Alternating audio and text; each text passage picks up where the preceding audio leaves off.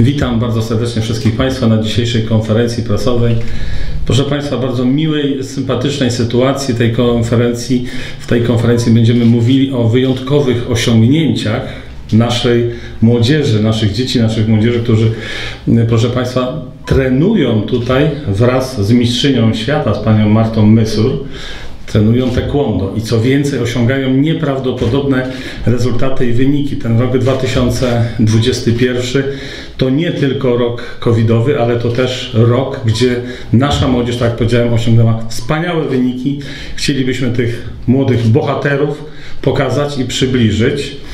I myślę, że tutaj pani Marta będzie tą osobą, która wprowadzi nas troszeczkę w świat taekwondo, ale też i w te wyniki, jeżeli chodzi o poszczególne osoby, tak? Na tej konferencji wraz ze mną obecni są członkowie zarządu powiatu tomaszowskiego, pani Elżbieta Łojszczyk, pan Marek Kubiak, również jest z nami obecna naczelnik Wydziału Oświaty i Sportu, pani Beata Stańczyk. Proszę Państwa, przychodzi ten czas. Proszę bardzo, pani trener, pani mistrzyni, proszę przedstawić swoich wychowanków, którzy osiągają takie piękne wyniki. Bardzo proszę. Bardzo dziękuję Panie Starosto. Y, serdecznie witamy i przede wszystkim dziękujemy, że mogliśmy znaleźć się tutaj i y, być wyróżnieni y, bezpośrednio tu na, na spotkaniu z Panem Starostą. Także z tego miejsca serdecznie dziękujemy. No cóż, sport w Tomaszowie jest bardzo wszechstronny i my jako zawodnicy sztuki walki e, też cieszymy się, że jesteśmy w tym zaszczytnym gronie, że osiągamy wysokie wyniki. Dzięki temu, że możemy tutaj e, trenować mając wspaniałe obiekty sportowe, tak jak e, tutaj bezpośrednio w Tomaszowie i w obrębie naszego miasta także, więc cieszymy się przeogromnie, że, że możemy tutaj być i trenować na naszej tomaszowskiej ziemi, że się przede wszystkim rozwijamy. Tomaszowska Akademia Taekwondo, czyli klub, który, e, który tutaj jest na dobrą sprawę bardzo młody, dlatego że jest on blisko 5 e, lat, e, no nawet jeszcze nie ma, ale, ale cieszymy się, że już z takimi sukcesami mam podopiecznych, którzy zaraz będą zdawali na swoje pierwsze czarne pasy i już te wydarzenia będą miały miejsce w marcu. Oczywiście podczas tego trudnego okresu pandemii trenowaliśmy cały czas, niezmiennie. Zawodnicy, jak widać, są w przeróżnym przedziale wiekowym. Nasz klub skupia ich około 80, no niestety cała 80 e, nie mogła tutaj być z nami. Ale jak widać, e, przez taki czas, krótki czasokres e, mamy już czołówkę, która cały czas ciężko pracuje i z sukcesami reprezentuje i powiat i miasto Tomaszów Mazowiecki. Taekwondo to czwórbój, czyli możemy się e, specjalizować w czterech konkurencjach. Pierwsza to układy formalne, czyli takie swoiste kata, do tego można to przyrównać. Druga to walki w różnych kategoriach wiekowych. Oczywiście e, walki są w odpowiednim sprzęcie sportowym, ale zdecydowanie kontaktowe, także to wygląda naprawdę bardzo widowiskowo. Trzecia to techniki specjalne i czwarta to testy siły. E, może zacznę od dziewcząt. Mm, od dziewcząt. Na koniec zostawię te najsmaczniejsze kąski, natomiast e, wszyscy myśleli, że jako trener kobieta, no to zawsze będę te dziewczyny miała na piedestale, ale cieszę się, że tu mam e, coraz większe męskie grono. Świadczy to o tym, że naprawdę zawodnicy są i wszechstronni bardzo się rozwijają. E, Basia Grałek jest to nasza medalistka zawodów ogólnopolskich, w chwili obecnej już juniorka, natomiast od młodzika osiąga bardzo wysokie wyniki sportowe, głównie w konkurencji technicznej. No i kto by się spodziewał, że Basia właśnie jest tutaj wyróżniana dzisiaj za konkurencję walk, czyli tutaj medale za walki w kategorii do 46 kg, drobna osoba, ale naprawdę leje się jak nie jeden facet, tak można powiedzieć. E, kolejna e, z dziewcząt to e, Natalka, ale ją zostawię sobie na koniec. E, natomiast dalej Anita Szuptarska. No Anita jeszcze nie może się bić bezpośrednio na zawodach, ale wchodzi dopiero w juniora młodszego, więc mam nadzieję, że w tym roku da swoje pierwsze popisy. Już trenuje oczywiście walki, natomiast startuje w konkurencji technicznej. Jest jedną z lepszych zawodniczek, jeśli chodzi o tę kategorię, przede wszystkim młodzika. I jak na jej wiek, Anita, ile masz lat? 13. 13, czyli na 13-latkę jeszcze e, młodą bardzo osobę ma już stopień e, przed z czarnym pasem, więc za rok, jak ten wiek będzie minimalny osiągnięty, czyli 14 lat, będzie mogła przystąpić do egzaminu na czarny pas na pierwszy dan, czyli mimo, że jest bardzo młoda, jest bardzo dobra, bardzo techniczna, więc e, też e, oprócz umiejętności technicznych, które ma na sali, także reprezentuje nas na zawodach. Mm, Małgosia Pytel E, Gosia to już jest zaraz juniorka, natomiast Gosia e, potrafi nas zaskoczyć e, w różnych konkurencjach, no głównie technicznej walki. Tutaj dzisiaj stoi za swój medal na Pucharze Polski juniorów, także mimo, że jest jeszcze juniorką młodszą, to w wyższej kategorii wiekowej zdobyła swoje trofeum w kategorii walk. Dalej Julia Majda, to jest bardzo zdolna zawodniczka, bardzo techniczna, bardzo wszechstronna. E, ciężko jest też wymienić Julii sukcesy na przełomie ówczesnych e, lat, bo naprawdę było ich bardzo dużo i wygrywała praktycznie wszystkie kategorie techniczne. E, teraz tutaj stoi za pierwsze miejsce w walkach i za pierwsze miejsce w układach. E, Joanna Smolarczyk. E, to jest taki nasz diament, który właśnie e, można powiedzieć został dopiero oszlifowany, gdyż Asia Ówcześnie bardzo ciężko pracowała, miała jakiś taki długi czas, okres, kiedy tych medali nie było, nie było, aż tu nagle są e, i faktycznie e, też dała się pokazać w kategorii walki za ten, e, za ten medal jest tutaj wyróżniona. No i Maja Wójcik, nasz najmłodszy orzeszek. Maja jest bardzo dobrym technikiem. E, faktem jest, że jeszcze 3 stopnie i dopiero czarny pas, ale generalnie już teraz jest e, naprawdę bardzo dobrą zawodniczką. No i ona tutaj reprezentowała nas na międzynarodowym turnieju e, w Ciechanowie, więc ten medal, który otrzymała tam, wygrała, wywalczyła, jest już z zawodów międzynarodowych. Natalia, jeszcze musisz poczekać, chłopaków jeszcze dokończę. Aleks Wójcik. Słuchajcie, nie wiem, nie znam tutaj w Tomaszowie bardziej e, motorycznie e, zwinnego chłopaka. To jest, e, to jest postać, która się absolutnie bardzo rozwinęła, mimo że walczy w kategorii do 52 kg, jest tak kosmicznie szybki. Oczywiście miałby medale w walkach, bo panowie zaczęli zdobywać te medale w walkach i wiadomo, że to jest bardziej męskie to kopanie i uderzanie. I Alex jest tutaj wyróżniony za mm, finał kategorii e, walk do 52 kg na międzynarodowym turnieju e, Mazowia Cup w Ciekanowie. E, bliźniacy. Ten pierwszy to jest Filip Palimonka. E, Filip walczy w kategorii do 70 kg, również w finale naprawdę małą ilością punktów przegrał minimalnie z reprezentantem Polski, więc to już świadczy o tym, że jego poziom jest naprawdę ogromnie wysoki. Też jest stopień przed czarnym pasem. Już niedługo w czerwcu będzie miał możliwość przystąpienia do egzaminu na pierwszy dan i na pewno będzie do niego podchodził. Ciągle się rozwija i też w kategorii walk naprawdę jest dużym zagrożeniem dla zawodników reprezentacji Polski. E, Filip Palimonka, czyli Mateusz Palimonka, czyli jego brat, e, bliźniak, jak widać e, jest niższa kategoria wagowa, 64 kg. No ale fighter też taki sam jak brat, trenują razem, ćwiczą razem i razem będą podchodzili na stopień pierwszy dan. Też się świetnie rozwija, więc też naprawdę rokuje na przyszłość. Alan Żak. No to podobnie do Asi. Były takie momenty, kiedy faktycznie nie mogliśmy sięgnąć po te osiągnięcia, natomiast teraz Alan jest w kategorii e, tej wyższej, tej cięższej e, i też miał e, teraz na międzynarodowym turnieju okazję być w finale e, i też wywalczył srebrny medal. Natomiast Natalia Gielzak to jest nasza czołowa zawodniczka obecnie. E, Natalia zdobywa e, ogromne osiągnięcia, jeśli chodzi już o arenę krajową trenuje niedługo. W marcu będzie miała możliwość przystąpienia do e, swojego pierwszego egzaminu na pierwszy dan. Natomiast na pewno jest brana pod uwagę e, do pierwszego swojego zgrupowania na reprezentacji Polski tutaj u nas, które będzie odbywało się w Centralnym Ośrodku Sportu w Spale e, też w najbliższych miesiącach, bo już mam tę wiedzę i już potwierdzone informacje jako juniorka w kategorii do 50 kg. Czekamy aż zda na czarny pas i wreszcie ktoś zastąpi mnie e, z orłem na piersi. Cieszę się, że to jest, są Tomaszowianie, cieszę się, że bardzo e, prężnie trenują. E, I naprawdę mam godnych następców. Ciężko jest wybrać jednego, ważne, że jest ich coraz więcej i no cóż, no, tyle co mogę powiedzieć. No to co, brawa!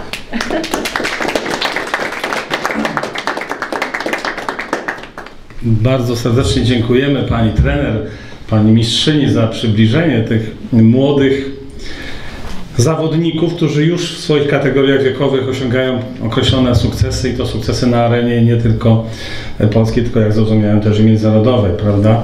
Proszę Państwa, chcielibyśmy jako tutaj władze samorządowe, władze powiatu promować przede wszystkim ruch, sport, to wszystko, co jest ważne, co jest potrzebne dla kondycji człowieka, prawda, nie tylko fizycznej, ale tak naprawdę umysłowej.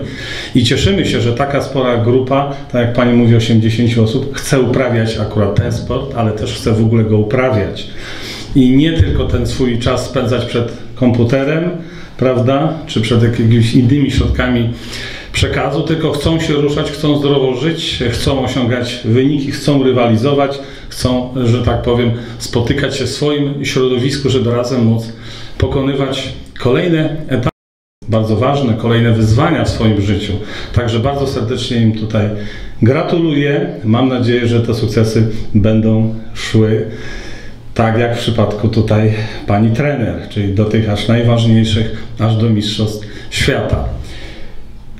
Proszę Państwa, w tej chwili głos oddam członkowi zarządu powiatu tomaszowskiego, pani Elżbiecie Łoszczyk. Bardzo proszę. Dziękuję bardzo Panie Starosto. Ja również pragnę powitać wszystkich tutaj, e, zarówno Panią e, trener, jak też jej uczestników zajęć Akademii. Chciałabym pogratulować oczywiście wszystkim tutaj zebranym uczestnikom zawodów w na arenie naszego kraju, zawodów międzynarodowych, zdobytych osiągnięć, sukcesów. Sport jest taką dziedziną, która rozwija w każdą stronę, rozwija walory fizyczne, ale też psychiczne każdego człowieka i myślę, że dzięki uprawianiu sportu te młode osoby w przyszłości będą miały ogromny wpływ na to, co dzieje się również w innych dziedzinach. Chociażby na niwie samorządowej, rządowej, naukowej, każdej, bo sport jest taką dziedziną, która pomaga po prostu żyć. Dziękuję bardzo. Dziękuję bardzo Pani Elżbiecie Wojszczyk, a teraz zapraszam do zabrania głosu członka zarządu powiatu tomaszowskiego, Pana Marka Kubierka. Pani trener, Panie starosto, Wy, drodzy adepci sztuk walki, można powiedzieć mistrzowie. Mistrzowie i obecni i mam nadzieję mistrzowie przyszli. Bardzo się cieszę, że wybraliście sport jako e, tą dziedzinę, która Was rozwija, bogaca, e, dzięki której wychodzicie z domu, nie siedzicie w smartfonach, nie siedzicie przy telefonach, nie siedzicie przy komputerach, bo każde wyjście i każdy rozwój e, fizyczny to również rozwój psychiczny, tak jak tutaj było wspomniane bo uczycie się samodyscypliny, oprócz tego, że oczywiście rozwijacie swoją tężyznę fizyczną, to uczycie się samodyscypliny, Sami musicie się nauczyć, że jest czas na obowiązki, obowiązki treningu. E, trzeba tak sobie podporządkować ten dzień, żeby na wszystko można było zagospodarować czas. Dziękuję Wam serdecznie za to, że wychodzicie z domu, że uprawiacie sport. E, dziękuję Wam serdecznie za to, że e, przedstawiacie na arenie krajowej, międzynarodowej powiat tomaszowski. Gratuluję osiągnięć, trzymam kciuki i życzę, żebyście byli prawdziwymi mistrzami cały czas. Dziękuję bardzo. Dziękuję bardzo panu Markowi Kubiakowi. Zapraszam jeszcze do zabrania głosu naczelnika Wydziału Oświaty i Sportu w Starostwie Powiatowym, panią Beatę Stańczyk. Bardzo proszę. Pani prezes, szanowni państwo, przed pandemią miałam przyjemność oglądać pokazy bo pani prezes na wszelkich mhm. wydarzeniach miejskich bądź powiatowych bardzo chętnie pokazywała swoje grupy, niejako zachęcając do tej dyscypliny nowej na naszym gruncie taekwondo. Taekwondo, tak jak przeczytałam, y, to nazwa wywodzi się z języka chińskiego i oznacza stopę, pięść i drogę. Tak, pani prezes? tak. E, stopa, pięść to jest ta walka a mnie ujmuje zawsze ta droga. Bo tutaj już pani Elżbieta Łojczyk wspomniała o tym, że sport kształtuje naszą głowę. Wy w taekwondo stawiacie też na przyjaźń oraz wartością taką nadrzędną y, macie taki swój ponoć kodeks moralno-etyczny, który jest takim numerem jeden w waszej dyscyplinie. I to jest właśnie ta droga, bo stopa pięść bez głowy nie istnieje. E, stopa pięść e, może zdobywać e, medale olimpijskie, ale też później jest jakieś życie. I ja cenię właśnie młodzież, która do sportu gnie, tę młodzież, że wybrała taekwondo, bo wydaje mi się, że dzięki Pani i dzięki tym zasadom obowiązującym w tej dyscyplinie, oni będą mieli łatwiejszą drogę przez życie. bo ukształtuje ich Pani w ten sposób, aby wiedzieli, jaką drogą też pójść w pokorze, spokojnie, bezpiecznie i szczęśliwie. Gratuluję Pani Prezes tych pięciu lat. Gratuluję silnej kobiecie, która zapala młodych ludzi, bo ten Pani klub się rozrasta i to jest wielki sukces. Bo dzisiaj mamy tu 11 osób, e, którzy mają swoje sukcesy, ale wiem od rodziców, że dzieciaki lubią chodzić na Pani zajęcia i że właśnie to, co powiedział Pan starosta w dzisiejszych czasach przed komputerem i, i telewizorem, Pani wyciąga te dzieci, zatrzymuje na zajęciach i układa im głowę. Gratuluję serdecznie i Pani, i młodzieży. Bardzo serdecznie dziękuję Pani Beacie Stańczyk. Proszę Państwa, to nie jest e, promocja takich sztuk walki, które e, uczą bić, żeby się bić, tylko to też jest kwestia bardzo ważna, istotna, żeby też nauczyć się ewentualnie swojej obrony w różnych sytuacjach, zagrożeniach, jakie się mogą pojawić. Człowiek, który jest sprawny, jest bardziej taki pewny siebie, że może sprostać różnym wyzwaniom, jakie niesie całe nasze życie. W zdrowym ciele zdrowy duch, prawda? I takie prawidłowe podejście do życia, do tego, jak mamy się zachować. Także jeszcze raz bardzo serdecznie gratuluję Pani trener, Pani mistrzyni, gratuluję Wam wszystkim. Trzymajcie tak dalej, starajcie się być konsekwentni w dążeniu do kon- tych konkretnych celów, które sobie po prostu założyliście. Wszystkiego dobrego. Przygotowaliśmy tutaj takie drobne upominki e, dla każdego z dzisiejszych uczestników tej konferencji. Oczywiście bardzo serdecznie dziękuję naszym mediom, które są z nami obecne, które mam nadzieję w ten sposób też zapromują prawda, w naszym społeczeństwie to, co się wiąże ze zdrowiem, to, co się wiąże z uprawianiem sportu. Bardzo proszę. I mamy listy gratulacyjne. List gratulacyjny. Dla pani Marty Mysł. Nie będziemy czytać, bo tutaj są poszczególne tutaj już kwestie dotyczące danych osób, ale dla pani trener bardzo proszę serdecznie gratuluję i tutaj upominek. O, to. Proszę bardzo. Ja może stąd będziecie. To dalej. To może tak, y, przez mikrofon Pani Tak. starosta. O. List gratulacyjny za osiągnięcia sportowe dla Małgorzaty Pytek.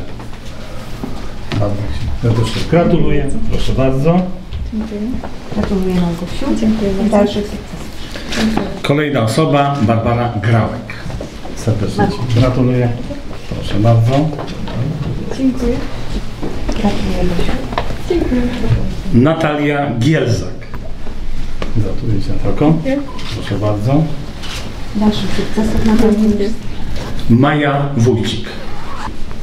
O, najlepsza, tak? Serdecznie gratuluję. Proszę bardzo.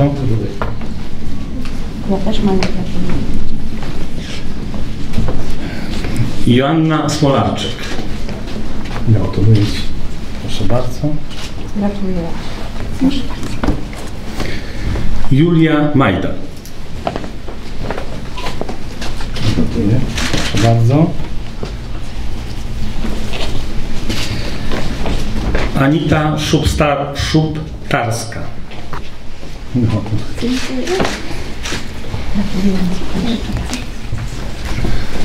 Alan Żak. Proszę bardzo. Aleks Wójcik. Serdeczne gratulacje. Proszę bardzo. Gratuluję Aleks życzę dalszych sukcesów. Mateusz Palimonka. Gratuluję. Proszę bardzo. I brat bliźniak Filip Palimonka. Proszę bardzo. Gratuluję. Proszę.